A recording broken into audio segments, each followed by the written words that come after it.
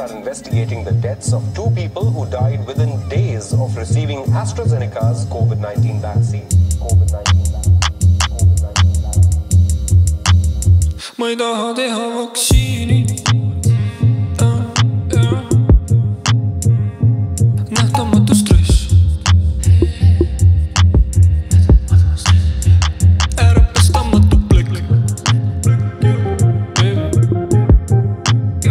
Should have soon